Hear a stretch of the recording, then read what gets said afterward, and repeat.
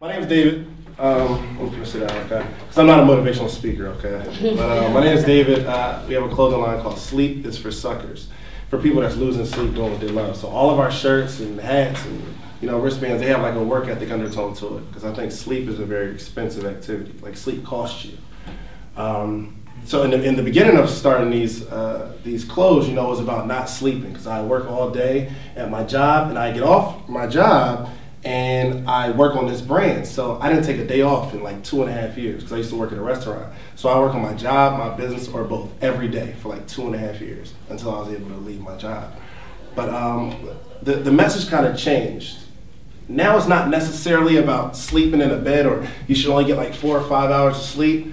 Because now I teach kids that um, if you watch TV all day, we consider that sleep. It's not really about the dangers of laying in a bed. If you play video games, we consider that sleep. If you come to a class like this and all you're trying to do is get a grade, you sleep. Conversely, I teach uh, adults and, uh, and, and, and college students. You might work a job. You might graduate and work a job that you absolutely hate for like 15 years with no progression. You know God's calling you to do something greater and you don't, you sleep. And sometimes it takes people a little while to wake up. Um, so that's pretty much the basis of our brand. Um, she, she asked me to kind of touch on why I got started. What happened was, anybody worked at a restaurant? I worked in one. Oh, where were you at? Um, Taco Mac in Midtown. Taco Mac, were you? Chick-fil-A in Chicago. Chick-fil-A? I worked at the Cheesecake Factory. I was there six years, right?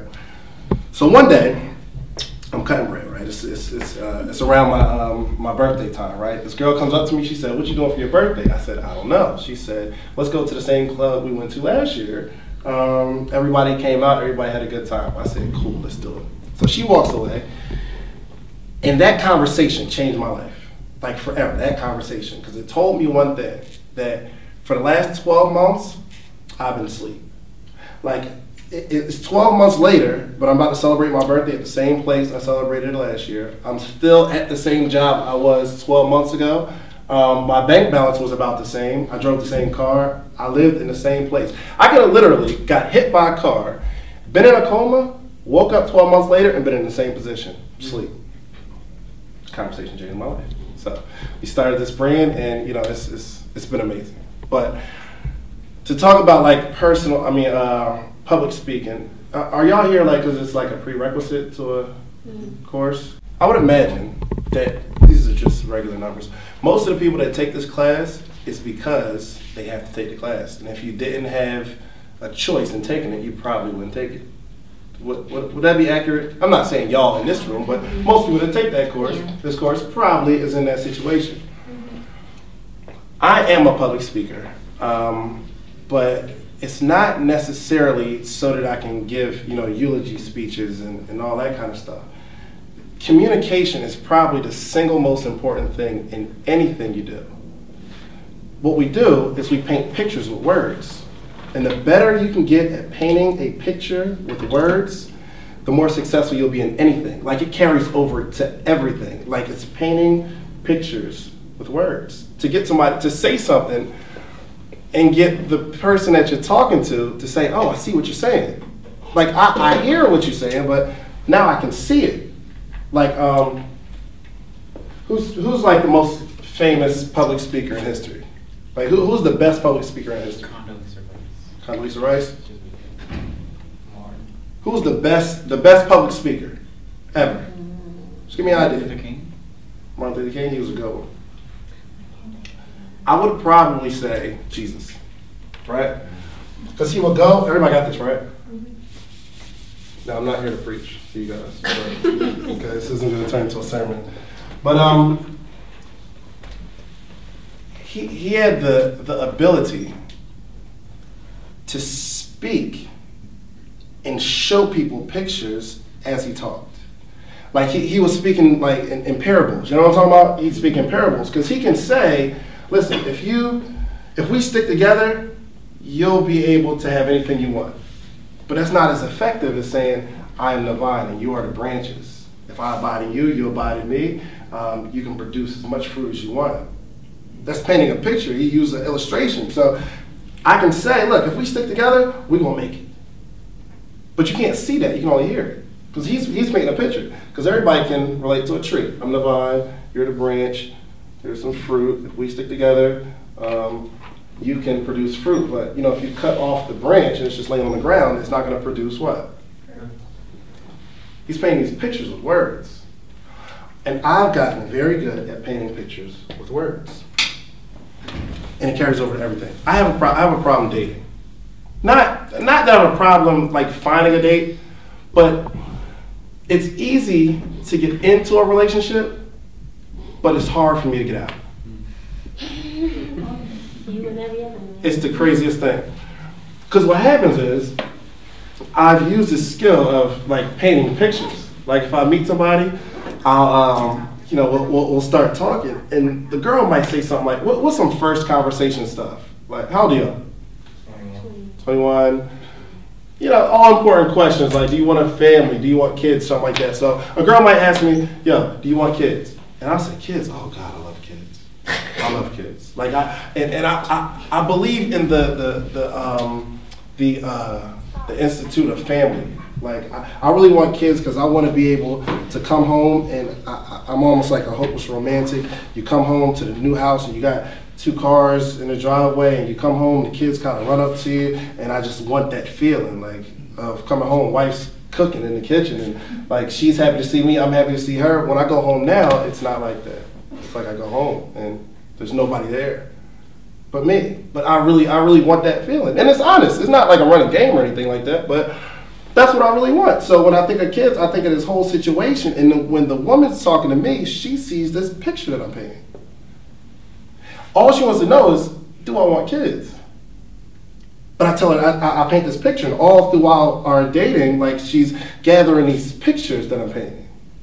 Uh, yo, I need a vacation. Oh, you need one too. Oh my God, I went out to Destin, Florida.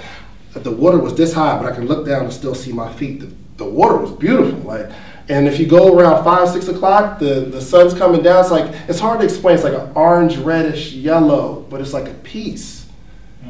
You'd have to see it, but she can almost see it through my words.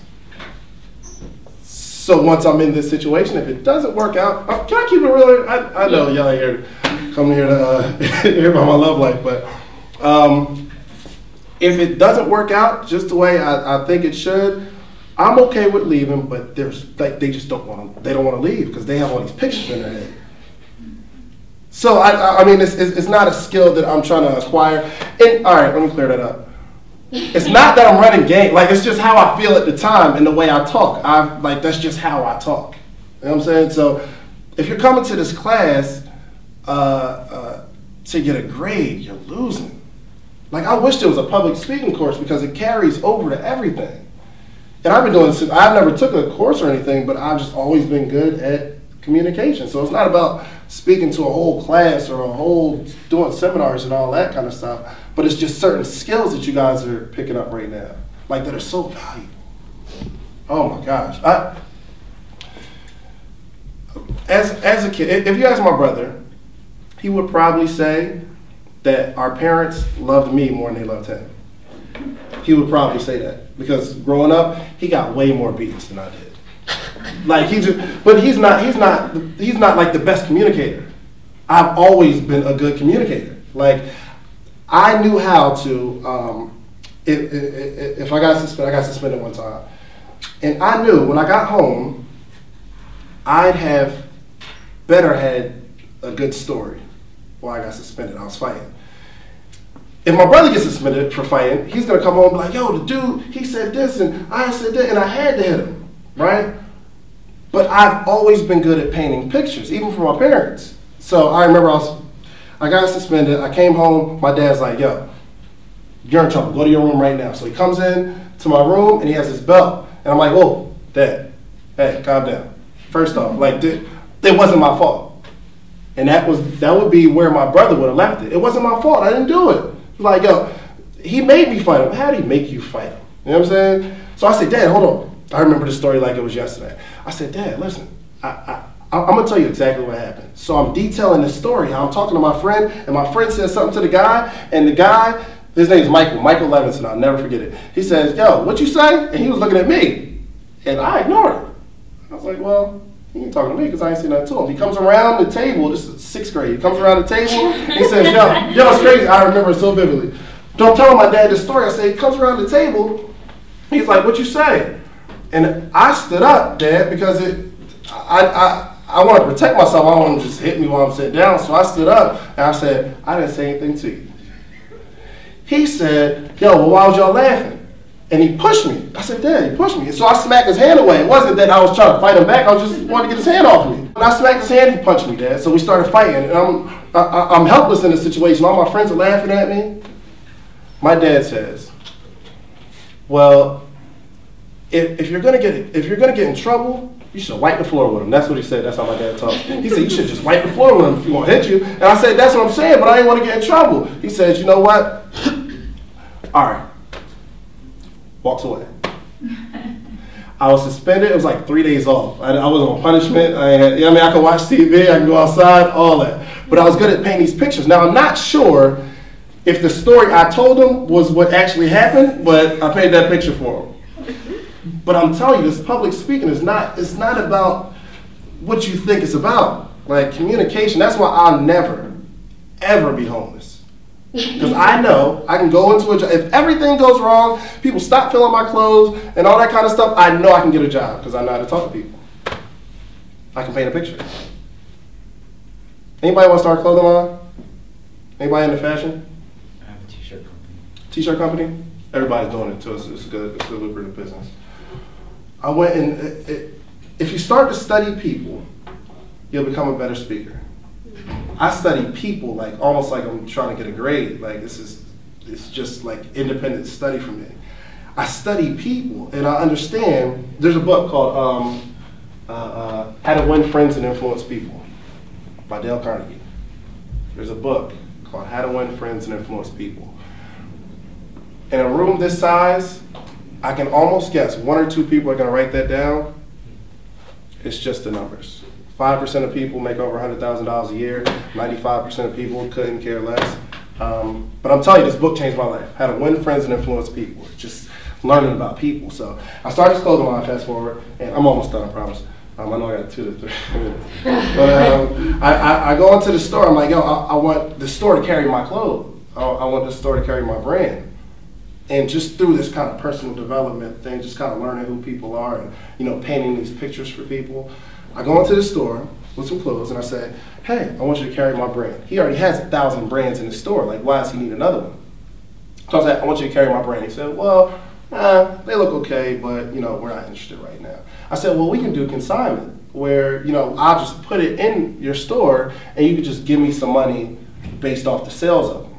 And I said, well, um, just putting myself in a store owner standpoint, uh, j- just putting myself in his shoes, I said, well, this is what I'm going to do. If we put these clothes in your store, my goal is to make sure that you sell out of these clothes because I want you to buy the clothes from me and then sell them yourself. But the only way you're going to start buying clothes from me and sell them yourself is if I put these 20 shirts in here and they sell out. If they sell out, I got you forever. You'll continue to buy from me. So I'm going to promote your store. I'm going to tell people these shirts are in this store. You need to go to the store and buy these clothes. So I'm going to be promoting to my entire following to go to your store and buy clothes. Now, sometimes they might go to your store and not buy my clothes, but they'll be in your store. There's nobody else that's going to have a clothing line that's going to promote your store. I want to drive traffic to your store. So, from a business owner standpoint, he's like, well, this is free marketing. It doesn't cost me anything. I don't have to buy the shirts. Let's do it. And that was a spark. Every store I went to with that pitch, they took it. Why wouldn't they? Well, most people think of it themselves and, hey, carry my clothes.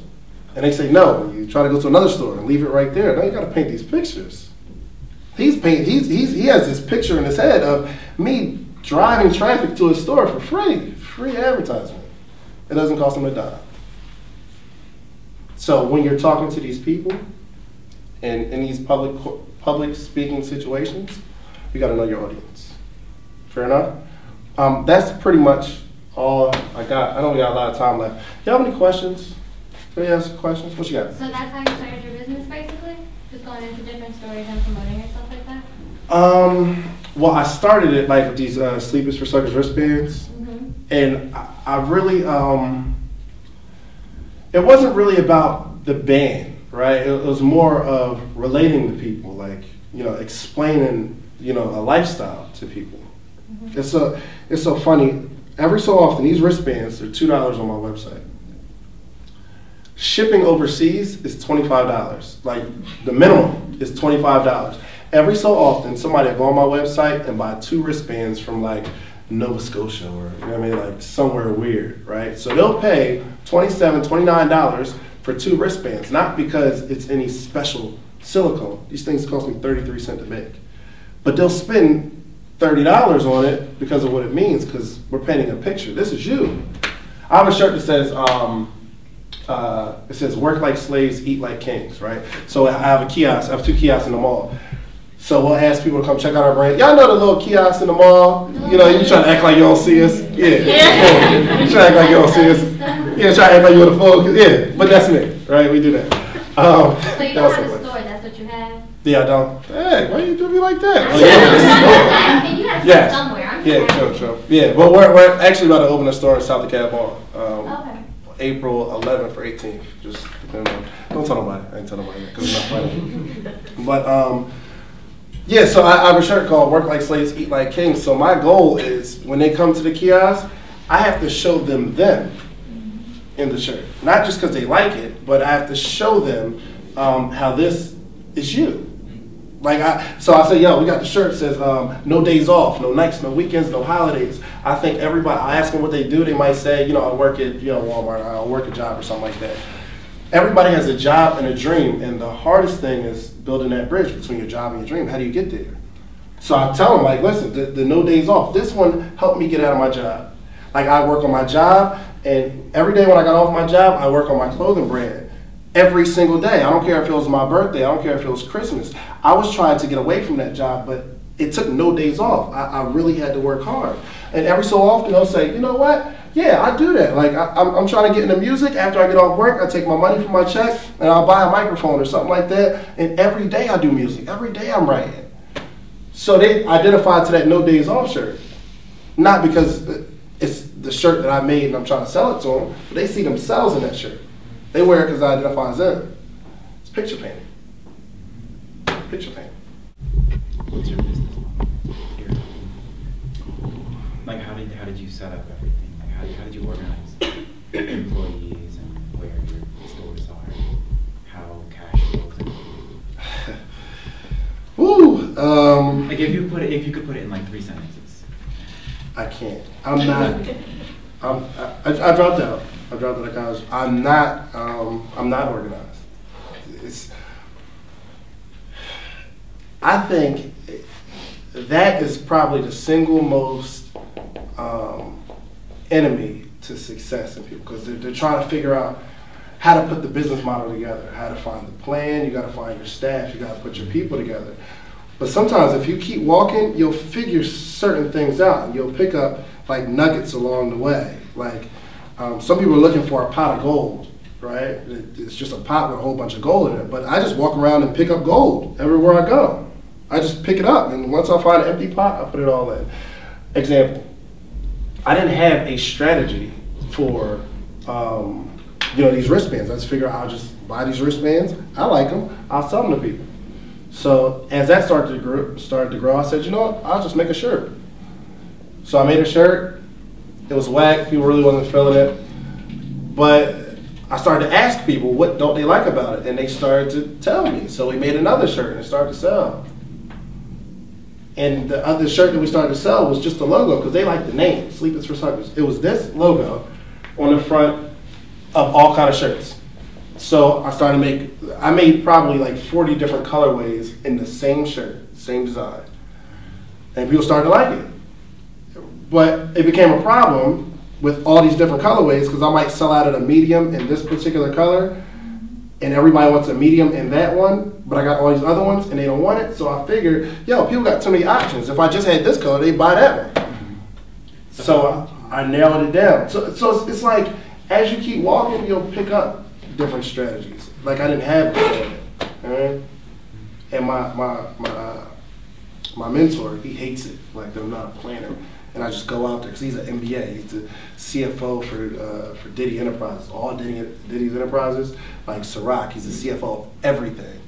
and he hates that I don't come up with like plans and strategies, and I just run out there and bump my head and learn to walk. Like babies fall down and they get up, and then they fall down and they get up, and they fall down and get up, and that's how they learn how to walk. It's not like you know, all right, I'm gonna put my left foot here. If I do it this, you just got to keep walking and falling down. So, did that answer your question? Not really. Yeah. I don't have a plan. I don't have a strategy. I just keep working. The the the.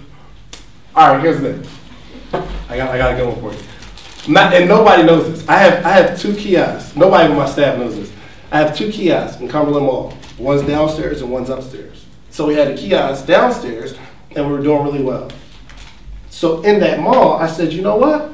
We about to start making. Um, this dude showed me this uh, sublimation thing, um, where we can make custom coffee mugs and custom shot glasses. So anything you want on it, we can make it a custom shot glass, custom coffee mugs, and custom water bottles. So I was like, you know what? I think that'd do really good in the mall. That's a good idea, right? So I opened another kiosk, two, another two thousand dollars a month. For some reason, people were not buying these shot glasses and these coffee mugs. They just weren't buying them. And I'm spending all this time in this second business because I think I got this other kiosk cracking in the mall. And I'm thinking people gonna know me anyway, so they'll buy from me. I was losing money. I said, you know what? I'm gonna go back to doing what I do best. We're gonna start selling these clothes. So we got two Sleep is for Suckers Kiosks. I took all the coffee mugs and all that and started putting shirts and stuff on the second kiosk, and people started to buy it because that's where I was focusing my energy. So you know, when people go upstairs, they see the kiosk, they might not buy anything, but when they go downstairs, like, yo, I just see this. You know, I'm gonna buy something now. So they both work together, and people are like, yo, you're a genius. You got two kiosks in the same mall. I'd have never done that. Well, the first one didn't work. So, but now now it looks like a plan. Like, all right, you got two kiosks, so you get traffic. You you you get somebody to buy your clothes. Any interest that they come in, huh? Yeah. Mm-hmm. I was losing money on the first one, so I just shirts on it.